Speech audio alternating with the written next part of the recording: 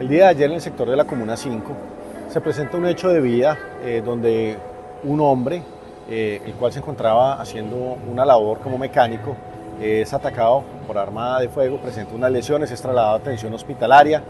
lamentablemente, posterior allí al traslado fallece esta persona. En el momento avanzamos en los procesos investigativos con el fin de dar con los responsables de este hecho desafortunado. Invitamos a la comunidad, a la ciudadanía que nos aporte algún tipo de información referente a lograr la captura de los responsables de este hecho.